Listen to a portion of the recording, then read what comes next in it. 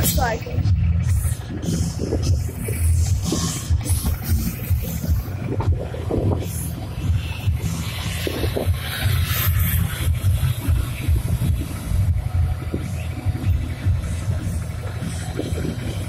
Just when I thought I'd seen everything there.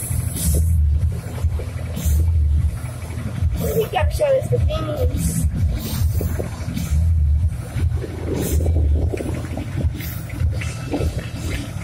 sitting there all day yesterday. I never knew what it was.